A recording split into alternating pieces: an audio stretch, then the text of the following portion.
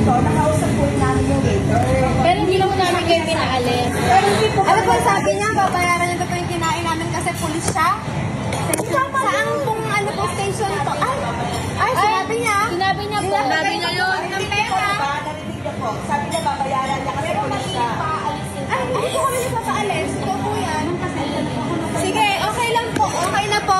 Ah, ano, may, may, may video naman po eh. Kung may ano po kayo, may video po kayo. So, yung pulis na nakaalitan ni uh, Sashnat ng kanyang ah, mami sa isang restaurant.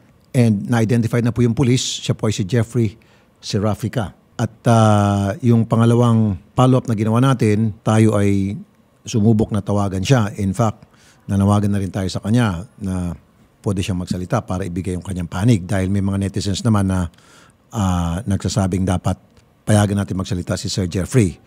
And I said, why not? Yun nga po talaga ang pakay namin dito tuwing meron pong inireklamo, gustong gusto po namin na makuha yung side ng inireklamo.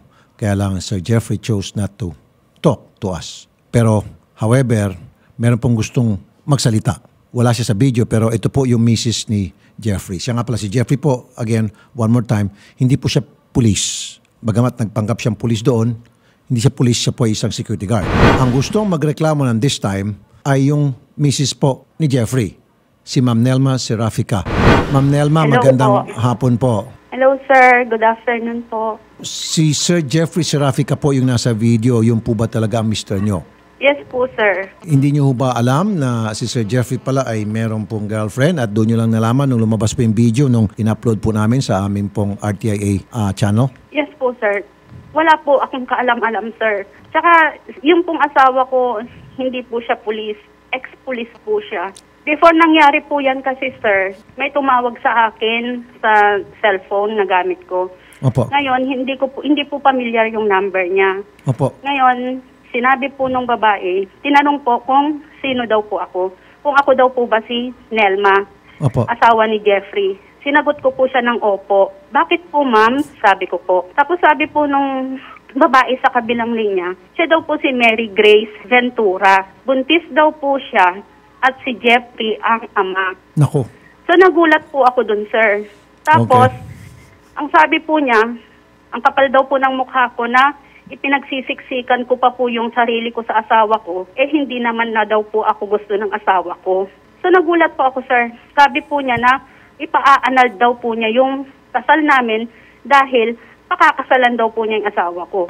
Pero hindi pa po anad yung kasal nyo. Hindi po, sir. At saka hindi po kami hiwalay, sir. Okay. Nagsasama pa rin kayo, kaya lang paminsan-minsan hindi siya natutulog dyan, hindi nagpapakita. Ganun po ba? Yes, sir. Ang uwi po niyan, 2 to 3 months bago po siya umuwi dito, which is hindi naman po niya dating ginagawa po yan, sir. Teka muna, 2 to 3 months, bakit po? Malayo po ang destino niya sa inyong pong tinitirahan? Yes, sir. Kami po kasi, sir, naninirahan kami dito sa La Paz, Tarlac. Sa Tapos Tarlac. yan, nasa Makati po. Stay in po siya sa kanyang pinagtatrabahuan bilang SG sa Makati at umuwi lang every couple of months. Hindi po, sir. Ah, naninirahan po yan ang alam ko sa kondo po ng kapatid niya. Pero pa, paano po yung uwi niya sa Tarlac? Pagka day off po niya, ah, end of the month po. Kasi every Sunday lang po yung day off ng asawa ko. Once a month, ibig sabihin, umuwi po siya sa bahay Opo, niyo.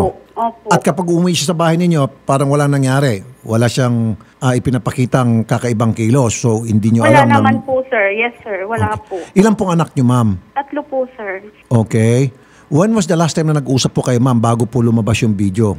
Ano po? Ah, everyday naman po, sir.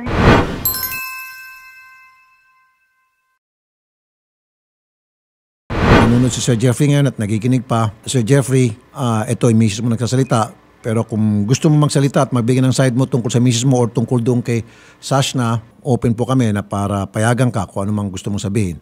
Wala na, nag-off na po siya ng cellphone. Ma'am Nelma, Yes, sir. nagbibigay pa rin ng sustento.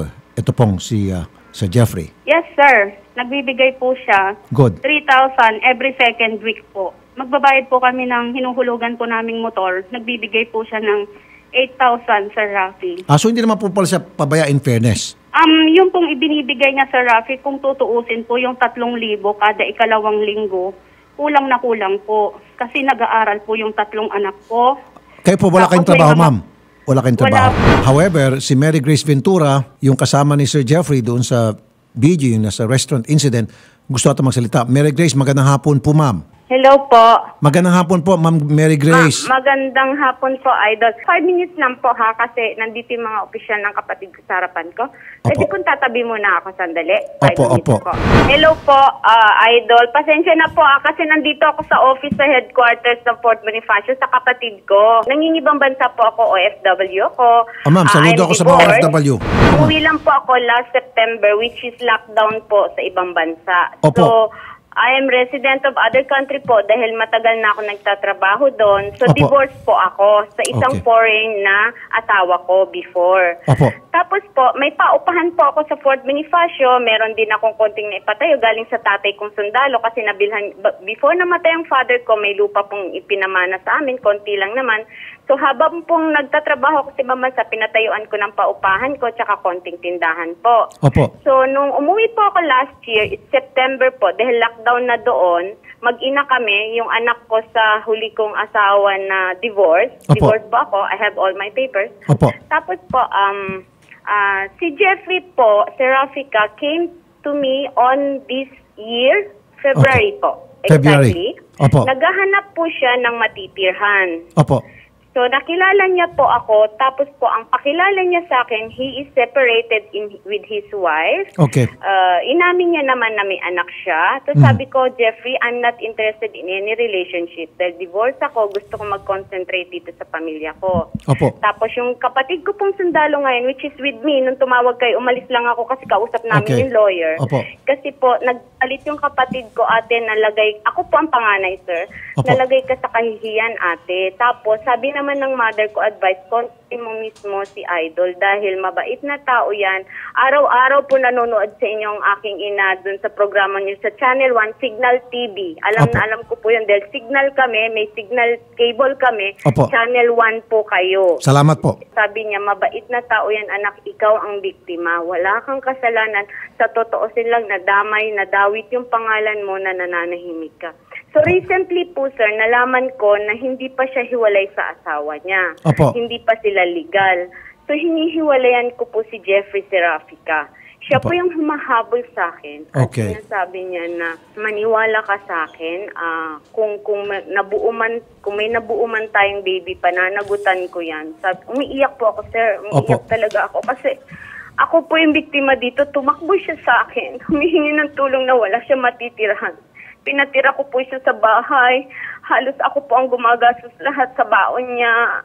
Yung parang ganun. So, akala ko naman genuine na na hiwalay siya. So, Opo. sabi ko, okay, kung magkano man yung sinasahod mo, hindi ko na siya pinagbayad ng bahay, aamin po ako, tumira siya sa akin. Hindi na Opo. doon sa inupahan niya, which is yung Okay. paupahan ko. Tumira na siya at ikina- pinakilala ko siya sa magulang ko, mga kapatid ko, sa panganay ko. May panganay po akong anak nasa PMA, Baguio. Opo. So, ipinagmalaki ko, which is all what I know was he is genuine na hiwalay na. Although, sinabi naman niya na nilalakad pa lang niya yung separation nila or something. Okay.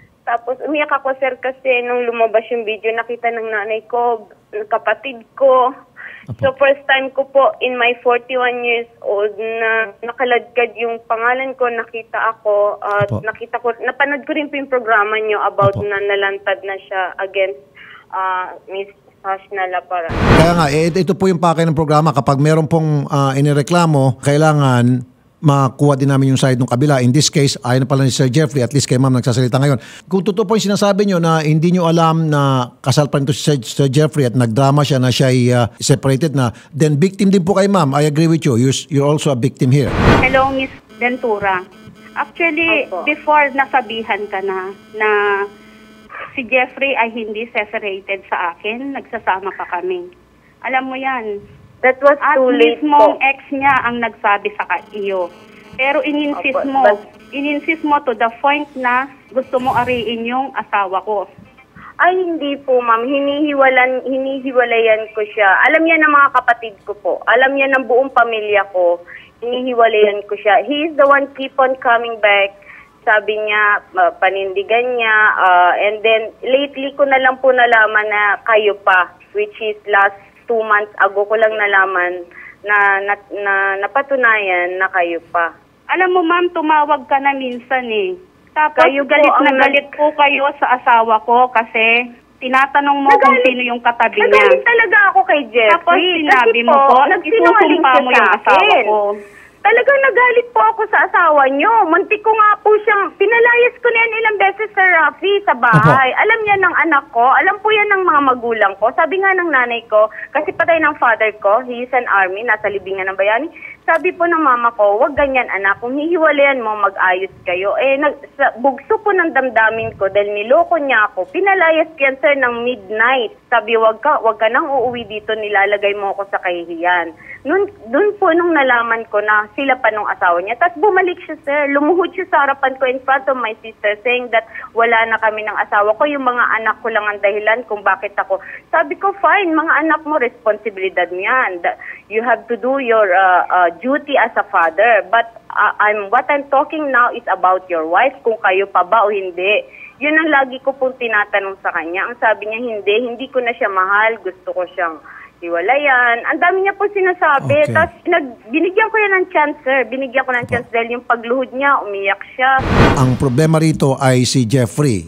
Hindi po kayong dalawa. Kung, again, for the third time, kung totoo po yung mga pinagsabi nyo, Sir Rafi, siguro po on that point, hindi po totoo yung sinasabi niya. Kasi bakit po niya i-insist na i-annul yung kasal namin ni Jeffrey at pakakasalan po niya yung asawa ko kung victim po siya? Wala akong ini-insist na anal. Ang sabi ko sa kanya, kung talagang ayaw mo, make me clear. Then kung talagang Marami wala kang ka na text kayo sa ng akin, asawa Miss niyo, Ventura. Hindi. Ang Napakarami sabi ko mong po, text. Ang, oo, marami ka rin pong text sa akin.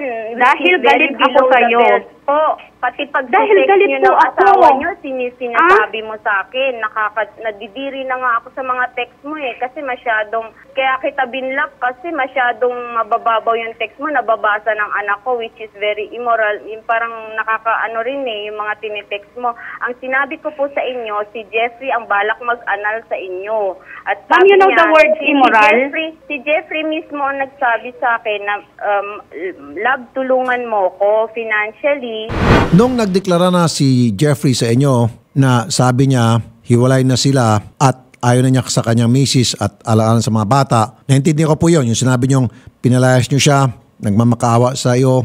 Pero ma'am, nung once na nag-communicate na sa inyo sana, itong si Mrs. Rafika at sinabi ni Mrs. Rafika na hindi pa rin kami hiwalay, sana pinaniliwalaan niyo po si Mrs. Rafika. Sana po kayo na pong gumawa ng paraan na para talagang totally palayasin niyo na po sa buhay niyo itong si Jeffrey kasi it's not worth it his bad news. Ito ma'am, kasasabi mo lang, love ang tawag sa iyo nitong si Jeffrey, tulungan mo ako. So doon pa lamang ma'am, it seems na parang recognize niyo po na kayo po ni Jeffrey ay nagmamahalan at para siya humingi ng tulong sa inyo at tawagin kayong love. Sir, lately lang po yan. Maybe last month lang po yung nagpapatulong siya sa akin na about that analysis. Kaya nga, ma'am, dapat- dapat, ma'am, hindi ka niya tatawagin ng love. Na lang. That time, nagmamakaawa siya. Sabi niya, Okay. please, sabi niya ganun. Nagmamakaawa siya that time, sir. So, sa phone Okay. lang naman po yun. Okay. We didn't see each other. Kasi Pe- Pero nga- ma'am, hindi ba kayo nagtaka nung ah, nagkaroon ng iskandalo doon sa restaurant at ah, si Jeffrey ay ah, ayaw i-insist yung kanyang karapatan? Actually, may karapatan siya doon mag-stay sa restaurant dahil customer din siya. Pero minabuti niyang umalis na at Ako- sabi niya walang Ako bi- na po yung nagsabi. Ako na yung nagsabi Okay, ano po? mag-walk out na tayo. Walk out, Opo, minabuti sir. na walang video. Hindi ba kayo nagtaka noon na may tinatago talaga itong si Jeffrey? That time po, ah, after the video, sir, 21 yung nangyari. I- inilabas yung video, 22. 24 po, hiwalay na kami. Wala Okay. na siya sa akin. Ah, good. So, therefore, hiniwalayan niyo na po itong si Jeffrey. Hindi na kayo magkasama Oo, ngayon. umuwi- Oh, wala na po. Mrs. Rafika, wala na pala Yes, si sir. Jeffrey at saka si Mary Grace. So, nandiyan na ba ngayon si Jeffrey umuwi sa inyo? Wala po, sir. At saka, sir, ang hirap pong paniwalaan yung pong sinasabi niya. Yung words na lang po niyang immoral, sir. Kung naiintindihan po niya yung words na immoral, dapat hindi po siya nakipag-commit sa asawa ko, which is alam po niya na si Jeffrey Sirapica ay may asawa po at mga anak at hindi po siya hiwalay. Ito pa po ang masakit, sir. Ipinipilit po niya na biktima siya. Sino po kaya ang higit na biktima? Kami na pamilya ni Jeffrey na naggulantang sa napanood pa po ng mga anak ko, sir. Ngayon, hindi sila makalabas ng bahay dahil po sa kahihiyan. Ganon din po ako, sir. Hindi ko po alam kung paano ko pagtatanggol yung mga anak ko dahil sa kahihiyan po na ginawa nila. Tapos sobrang nagulat po ako noong tinawagan ko po yung asawa ko regarding sa babaeng yan, ang sabi po ng asawa ko, hindi po niya kilala yan at wag daw po akong tumatanggap o sumasagot ng mga tawag ng hindi naman po pamilya sa akin yung number at i-block ko daw po yung mga number na yan, sir. Ma'am, I agree with you also 101% na kayo talaga ang pinakabiktima rito. At maaari din po, baka biktima rin kahit papaano ito si Mary Grace kung totoong sinasabi niya dahil pagsisinungaling ni Jeffrey. So, ang makabubuti po dito, ma'am, sana magsalita si Jeffrey. Kaya lang, ma'am, binababaan po tayo ng telepono. Sana po, magkaayos na po kayo ni Ma'am Nelma at kung totoo yung sinasabi niya na hiwalay na sila, then good move po yung ginawa ni ah, ah, Mary Grace na makipaghiwalay. Alam niyo po, sir, hindi lang po minsan niya ginawa yan, sir. Nung nasa serbisyo pa yan, may naanakan po yan na police woman. Noon pa lang po dapat sinampahan ko ng kaso yan, pero nagmakaawa siya. Taga Santa Maria, Bulacan po yung babae. Marian Dakutanan po ang pangalan niya. Okay. Humingi po yan ng tawad, sir. Baka daw pumawat tanggal sa serbisyo yung babae. Kaya sabi niya, alang-alang sa mga anak natin, ma. Sabi niya, please, hayaan na natin sila. Sabi niya, Okay. kami naman daw po yung talagang mahal niya. Alright, sabi ma'am. po niya. Ah, ang pagkakalam ko, nabuntis din natin niya itong si Ma'am Mary Grace. Tama ba, Ma'am Mary Grace? You're pregnant ngayon? Ah, sir, can I not declare that, sir? Opo, sige po, okay lang po, ma'am. In-advisean ko nga siya, bumalik ka na lang sa pamilya mo. Kasi Okay, good. yun. Don't mind me, I can live alone, sabi Okay. ko. Huwag lang ako madawit sa ganito. Kung legal ka na na anal, then okay, I will accept you. As long na may sabit ka, na may asawa ka, hindi kita tatanggapin. Yun po sinabi ko sa Fair kanya enough. huli. Mrs. Serafika, sabi ni Ma'am Mary Grace, wala na sila ni Jeffrey. So ganito po ang gagawin natin. I-observe po natin kapag halimbawa lumitaw na itong si Jeffrey, talagang niloloko ka pa rin, then pwede ho tayo mag-file ng kaso ah, laban kay Jeffrey sa korte. Ba pwedeng sampahan ko na po siya ng kaso? Kasi pang ilang beses na po yan, sir. Pwede At po. paulit-ulit lang po niyang gagawin yan, sir, sa amin. Hindi lang po sama ng loob, sir. Okay. At kahihiyan ang pwede Okay, po sandali lang. sa Okay. amin, pati sakit na rin po. Sige po ma'am, pwede natin sampan. Again, Jeffrey, magpakalalaki ka. Itong sinasabi ngayon ng mga netizen, magpakalalaki ka Jeffrey, magsalita ka. Kasi ito ngayon, ah, si Ma'am Mary Grace saka si Ma'am Nelma nag-aaway na at lumilitaw sa mga sinasabi nilang pareho, ikaw talaga ang loko-loko nito Jeffrey, ikaw may problema. Nag-umpisa talaga sa iyo Sir Jeffrey.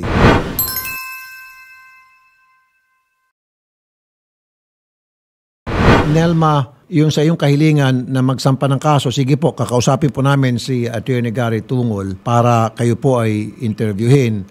Uh, upo siya sa inyo at pag-usapan po kung paano po atake ang gagawin niyo po sa kaso, Yes, pag-file ng kaso laban po dito kay uh, Sir Opo, Jeffrey. sir, para magkaroon po din kami ng katahimikan para hindi na po maalagay sa alanganin at kahihiyan po ang pamilya po namin, sir. Opo, opo. Naunawaan ko po. Ah, sa kabilang banda, meron din pong punto si Ma'am Mary Grace. Hindi sa kinakampihan ko po si Ma'am Mary Grace, Ma'am ah, Nelma, ah, nalalagay din po sa kahiyan yung kanyang pamilya, nadadamay po. So, pareho kayong biktima rito, kung tutuusin. Kaya lang, kayo po ang pinaka-biktima talaga ng husto ni Jeffrey. Siya po talaga ang ugat ng problema. Eh, nakakalungkot nga lang po, ah, Ma'am Nelma, itong inyong husband na bagang buntot at ayaw po magsalita. Sana po magsalita siya para once and for all, matuldo ka na itong problema niyong dalawa. Pero kayo po, Ma'am Mary Grace at ah, Ma'am Nelma, willing naman kayong dalawa magkaayos, tama? Hindi ko po maipapangako po, sir. Pero that's good as a start. Hindi ko maipapangako. So, ibig sabihin, kahit papaano, nandun po ngayon sa isipan nyo, sa puso nyo na possible, maybe, siguro, Sir, in time. Di ba? Konting panahon lang po siguro ang kailangan at hanggang magkaayos kayo, which is good yan. kasi po, habang malaya po yan, at kung totoo man po yung sinasabi ni Miss Ventura, marami pa pong babae ang magiging biktima niyan. Marami pa po kaming kahihiyan na daranasin. Okay, Mami Apo. Christine, meron daw po kayong gustong sabihin kay Mary Grace. Ito po, nag-aaway na si Mary Grace at saka yung ah, wife po ni ah, Sir Jeffrey. Actually, sir, the, um, ang mas na ano po kami, nakapag-usap po kami ni Ma'am Nelma, siya po yung nakausap ko na po. At hin- ano po to ah, wala, kinukwento ko na lang po anak ko na pag-uusap namin ni Nelma. Kasi more on, ni concern po talaga kung, kung ah, babalikan niyo po yung unang-unang labas ni Sash na po rito sa um, kay, sa inyo po, ang concern niya po baka may mga po yung police natatakot po siyang i-post kasi baka may mga anak nga po. Yun po yung unang-unang concern ni Sash na noon. Right. Tapos po, kaya po minessage ko si Miss Nelma, kinamusta ko po agad siya. Nakamusta po kayo. Ah, sana po, um, tawarin niyo rin po kami sa nangyari rin po. Tapos nagpapasalamat pa nga po si Miss Nelma na nalulungkot siya pero nagpapasalamat siya dahil nalaman na daw na ng buong katotohanan na niloloko po siya ng asawa niya. Yun po yung at talagang pinag-usapan natin. Opo. Kaya sabi ko, alam mo, Miss Telma, kahit hindi na po online or hindi na po kami makapag-usap asawa niyo po, pinapatawad na po namin yung asawa niyo po. Siguro po nangyari po ito kasi mabuting tao po kayo. Baka yun na po yung pinakita po sa inyo. Yun lang po yung usapan namin ni Miss Telma po talaga po. Ayun. Yun Sige na po. po, opo. Alright. Ma'am Christine, tsaka uh, uh, paki-convey na lang po yung message ko kay Miss Taparan na sorry po dun sa nangyari. Ako na po yung nagpalayo sa kanya noon kasi sabi ko hindi naman maayos yung ganun. Although kasi ma'am, na ano siya eh, tawag dito na siguro nasaktan yung damdamin niya dahil pinapalipat kami which is kauupo lang. Tsaka yung table talaga sir, wala naman nakalagay na reserve. Yung manager po mismo yung nagpaupo sa amin sa upuan na yon. So pumila po kami ng mahaba kasi between 8 to 9 na po yun eh. Pagod na pagod na rin ako. Tapos nung turn na po namin, yung manager po mismo nagpaupo doon. So sab sabi nung manager na kung pwede, umalis kami at lumipat sa ibang upuan. Ako po yung nag-explain, sir. Doon sa manager po yung kausap ko, hindi po sila Miss Sashna. Sabi ko, ma'am, ba't niyo pa po kami paalisin? And there's another big table po sa kanan nila. Eh, itong inuupuan po namin is table for four. Yung, yung, yung bisita po nila, di ba po, sabi niyo may lima pang darating. So, there's another big table naman po katabi rin nila. Yun po yung ine-explain ko. Then, Jeffrey suddenly react na sabi niya, bakit niyo naman kami paalisin? Eh, meron kaming pambayad. Yung ganun po, so nag-react siya, siguro po nasaktan siya. Pero in behalf na rin po ni Jeffrey at saka ako, nagsusorry po ako dun sa nangyari. Which is, may, hindi rin po maganda yung dating sa akin ng video na inilabas nyo. Kasi po yung pamilya ko napanood yon Ang sabi nila, ako nga daw, eh, pangit yung sa akin ha. Kasi wala po akong ah, pinagmayabang, wala po ako. Sabi nga nila kung pwede magkaso ako ng cyber libel. Sabi ko, no, no, no wala nang libel-libel sa akin kasi gusto ko ng tahimik. Sabi ko, nag-work ako sa ibang bansa. Ma'am Mary Grace, yung pong pagpanggap po ni Jeffrey, yun po yung nag-trigger ng gulo. O nga po, may problema doon yung management. Tama ho kayo mga sinasabi nyo. Umaagri sa inyo yung mga netizen from day one na dapat eh, naglagay ng reserve o dili kaya ibinigay nila yung ibang table kasi may pambayad naman talaga kayo. Nagmatigas lang po kasi talaga itong si Jeffrey at binanggit pa niya po na siya ay police na hindi naman po totoo. Usurpation of authority po yun. Doon po nagkaroon ng problema. Sana po next time pag, dapat itong si Jeffrey hindi po siya nagpapanggap na police samantalang hindi naman na siya police. Di po ba? You agree? Kaya pinigilan ko siya that time, sir. Eh. Sabi ko, tama na. Sabi ko gano'n. Hindi naman siguro tama na yan. Sabi ko, uh, better we move out na lang another restaurant. Sabi ko, it's not, uh, hindi na maganda yan, Jeffrey. Sabi ko, tara na. Sabi ko, kaya nung um, tumayo na po siya, at Alam ko also na alam nyo na itong si uh, Mrs. Uh, Serafika at si Jeffrey Serafika ay hindi pa rin po magkahiwalay. Sana po, nung malaman nyo na po na hindi pa sila magkahiwalay at nagmamakaway itong si Jeffrey, sana po sinabi nyo, lumayas ka sa buhay ko at huwag ka nang bumalik hanggat di mo na ipakita sa akin yung annulment paper. But you Yan didn't nga do po that. Kanina ma'am, eh, nakita niyo naman po, I've been very lenient to you para wala po kayo masabi. Di po ba? Right? Okay. Sana man lang ma'am, ginawa niyo yung narapat which is, Hoy, Jeffrey, hindi ko gusto makita ulit yung pagmumukha mo hanggat wala kang annulment paper na ipapakita. Eh kaso ma'am, you continued on with the relationship at ang sinasabi niyong dahilan ay sapagkat naawa ka, nagmamakaawa at kung ano ng pambobolang sinasabi. So, sana hindi na kayo sumakay sa mga pambobolang yon. Ma'am, sandali po, ma'am, ma'am, sandali po, ma'am. Let, let me finish. Kasi ma'am, ka- kasi ma'am, kanina kinakampihan ko kayo. I'm just being fair here. Ngayon, sasabihin ko naman yung side ni Mrs. Rafika. If you were in her shoe, what would you do? Matutuwa ka? Of course, ma'am, Pero, sasamakan sir, loob ka. So, nahalikan sa kanya after nung nalaman ko. Hindi na po siya nakatira sa akin noon. Pero nagkikita pa rin kami in the sense na pumupunta siya sa bahay. Kaya nga ma'am, kaya nga ma'am, yun, Opo. yun, yun, galing na mismo sa bibig Opo, nyo. opo. Sana ma'am, hindi mo na siya pinapapasok sa bahay nyo, nilalak mo ng pinto o kapag nagpupumilit siya, tumawag kayo ng barangay, tumawag kayo ng pulis, eh, meron itong lalaking dito nang gugulo, ayaw kong, ayaw ko ng trouble kasi may asawa pala to at yung misis niya nakausap ko sa telepono at ang kulit to, eh tulungan nyo akong palayasin to but you didn't do that. So ibig sabihin, eh gusto mo pa rin ipagpatuloy relationship nyo ni, ano, ni ah, Jeffrey. Pinabarangay ko na rin po yan, sir. Ma'am, Opo. kung gusto, maraming paraan. Kung ayaw, Oh, yes, I know, maraming sir. pwede idahilan. I'm sorry, ma'am. I, I cannot accept that. Uh, may, may problema rin po kayo, ma'am. Okay? Yung sinasabi ko kanina, yes, maybe you're a victim nung una. Pero as we go on, I was just trying to listen to you. Marami ko yung mga sinasabi na wala ho sa hulog. Medyo ah, sablay-sablay na po. Attorney Garrett ng RCIS Party List. Yes, sir. Hapon. Attorney Garrett, remember itong Sash na ah, Yes, sir. video? Yung sa restaurant, sir. O yes. sa restaurant, ah, napag-usapan kasi yung cyber libel. May cyber libel ba doon nung ah, may kumuha ng video at na-post sa social media? Okay, ah, ang opinion ko dito, sir, no, ah, this is coming from a very neutral standpoint. May hirapan po mag-file ng cyber libel yung mga subjects na nasa video.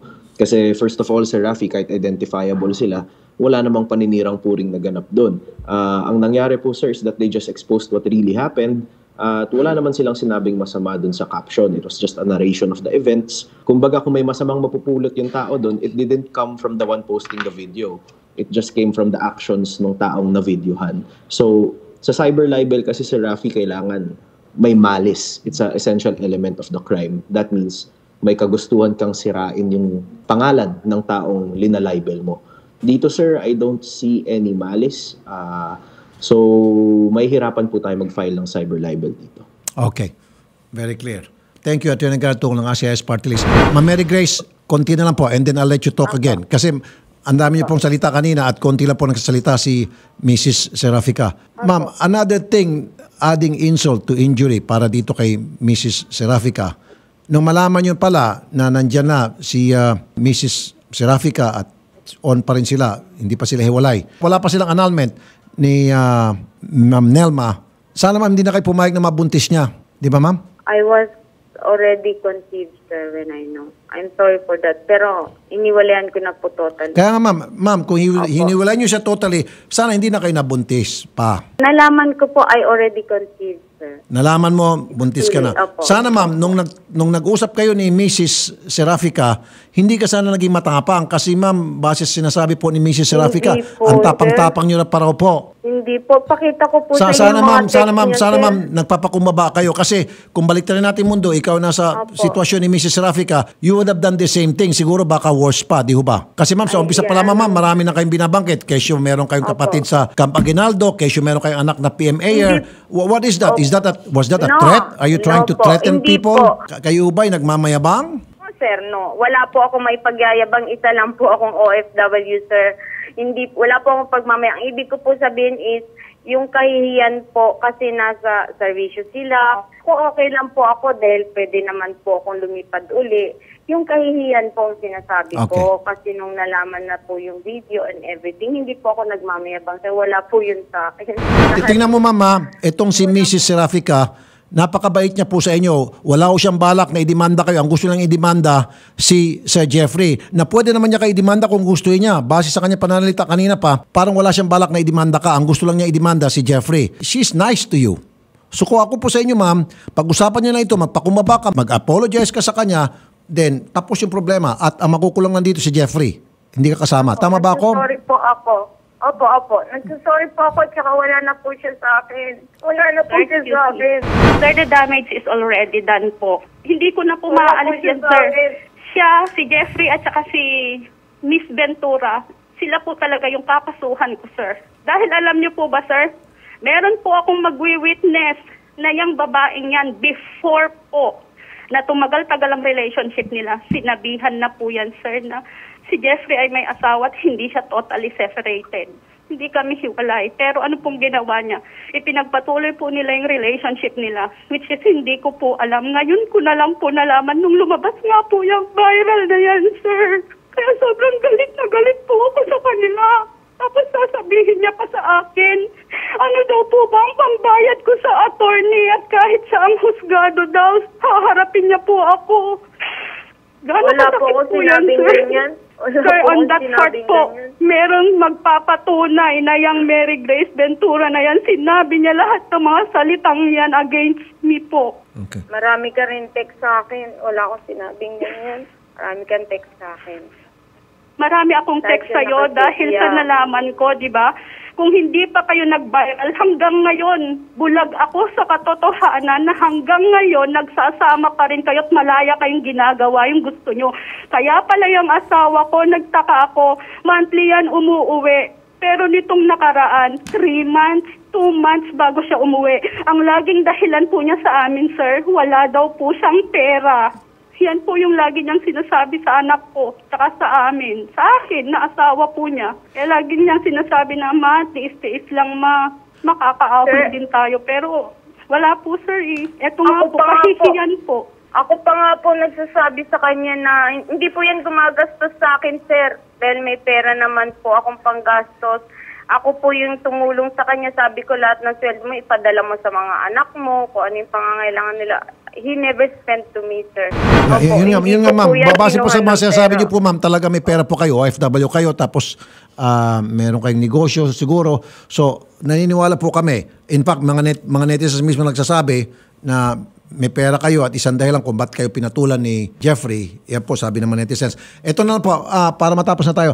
Ma- Ma'am Nelma, Huwag niyo po ibabaw ang telepono. Kakausapin po kayo ni Attorney Garrett ah, siguro in the, today or tomorrow or isa isa sa mga abogado dito sa RTIA, baka si Attorney Sam Ferrer o Attorney Villamor kung paano po gagawing atake sa pag-file ng kaso, kung sino pong gusto niyong kasuhan. Now, baka po, Ma'am Mary Grace, before that happens, mag-usap kayo off-air ni Mrs. Raffica, baka ma-square out niyo itong problema sa inyong dalawa. Okay? Ganun na lang po. Ma'am, ma'am, ma'am ah, Nelma, wag mo ibabaw ang telepono. Isa sa mga abogado po ng RTIA, kakausapin po kayo, ha? Yes, sir, pero I already decided, sir. Buo na po yung loob ko, sir. Opo, sige Kahit po. yung mga anak ko po, sir, sinabi nila, ma, pag wala kang ginawa, ma, lagi na lang ganyan, ma. Sabi po ng mga anak ko, sir. Kaya, yung dalawang yan, sir, Okay. na sumira sa pamilya namin, sila talaga yung kakasuhan ko po para maramdaman po nila, sir, kung gaano kasakit yung ginawa po nila sa amin. Okay. Then so be it. Sige po ma'am. Ah, then kakausapin po kayo ng mga abogado and then kung ano pong gusto mangyari, yun po yung masusunod. Kasi po kayong complainant namin. Salamat po, Ma'am ah, Nelma. Okay, Odette, pakisalo si Mrs. Raffica. Salamat po sa time na binigyan nyo sa amin, Ma'am Mary Grace Ventura, Madam. Magandang hapon po, Ma'am Mary Grace. Tuwag niyo ba ang telepono? Kausapin ni kanyang staff. Okay? Sige po. Opo.